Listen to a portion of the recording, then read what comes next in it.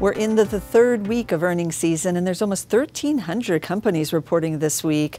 But I thought I'd take a look at a couple of lifestyle type companies. And these are ones that are in kind of the fitness, wellness area, and uh, one that has a pot connection too. So let's take a look and see what are these types of stocks doing right now, and do they have good earnings outlooks? Let's take a look. First one out of the gate is Match. Now, this is the lifestyle on the dating side. Match Group with Match.com and Tinder and the various uh, dating sites like OKCupid, and it's put together quite a nice string here with six beats in a row, really good numbers, and uh, the stock looks like it's topped out a little bit here. Can it regain momentum? Now, a lot of these growth stocks are feeling the pressure of valuations here and some rotation out to the more value plays. So that's kind of what I think we're seeing here. But another really good quarter could turn the tide here. And then we're going to switch over to WW, formerly known as Weight Watchers. Now, this is a crazy chart, as you can see.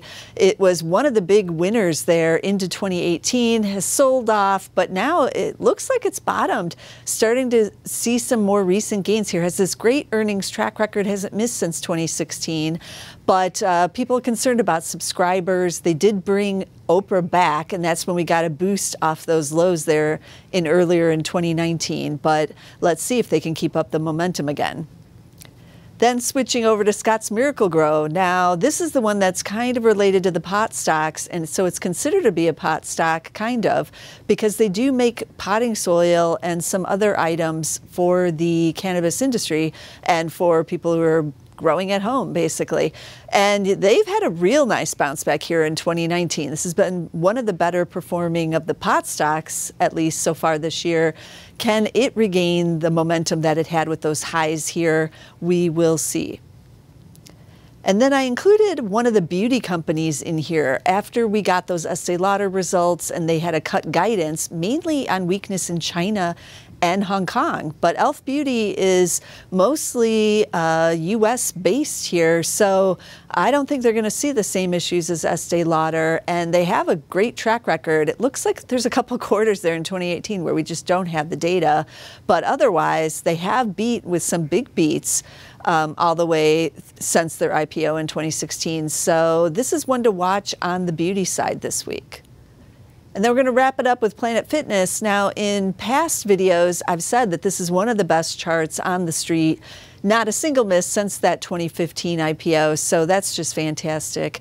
But these shares too have topped out. I'm beginning to think, you know, there might be something to those stories about the great rotation out of these big growth names where valuation could be a factor. But we'll see if this one, like Match, can regain momentum here.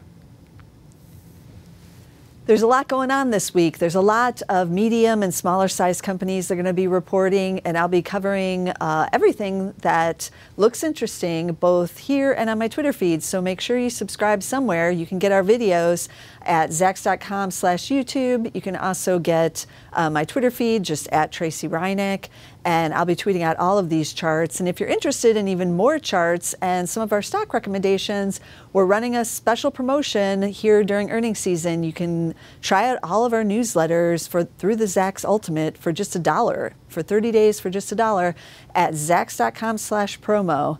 But uh, be sure to get us somewhere, and I'll see you again next time with some more earnings charts.